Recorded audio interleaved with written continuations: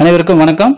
நாம் இன்று பார்க்க போகும் தலைப்பு வாயு தொல்லை நீங்க இயற்கை வைத்தியத்தின் மூலம் கஞ்சி தயார் செய்வது எப்படி என்பதை பற்றி பார்ப்போம்.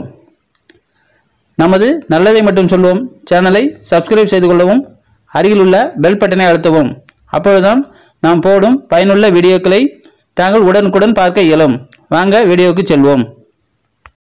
வணக்கம். வாயு தொல்லையை போக்கும் கஞ்சி எப்படி செய்வது என்று இப்பொழுது நாம் பார்க்கலாம். வாயு தொல்லை இருக்கும் பொழுதும் கர்ப்பிணிகள் மாதமாக இருக்கும் பொழுதும் இந்த கஞ்சியை உண்ணலாம். இன்று இந்த கஞ்சியை செய்வது எப்படி என்று பார்க்கலாம். தேவையான பொருட்கள் புழுங்கல் அரிசி ஒரு கப் முருங்கைக்கீரை கால் கப் தேங்காய் பால் ஒரு கப் பால் ஒரு கப் பூண்டு பத்து பல் இஞ்சி ஒரு துண்டு சீரகம் ஒன்றரை ஸ்பூன் வெந்தயம் ஒரு ஸ்பூன் உப்பு தேவையான அளவு.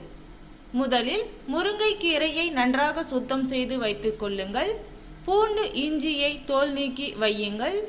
அரிசியை தண்ணீரில் சுத்தம் செய்து குக்கரில் போட்டு ஒரு கப் அரிசிக்கு நான்கு கப் தண்ணீர் ஊற்றுங்கள். கஞ்சி செய்வதால் தண்ணீர் நான்கு கப் ஊற்ற வேண்டும். கஞ்சிக்கு போதுமான அளவு உப்பு பூண்டு சீரகம் வெந்தயம் பால் கால் கப் சேர்த்து வேக விடுங்கள்.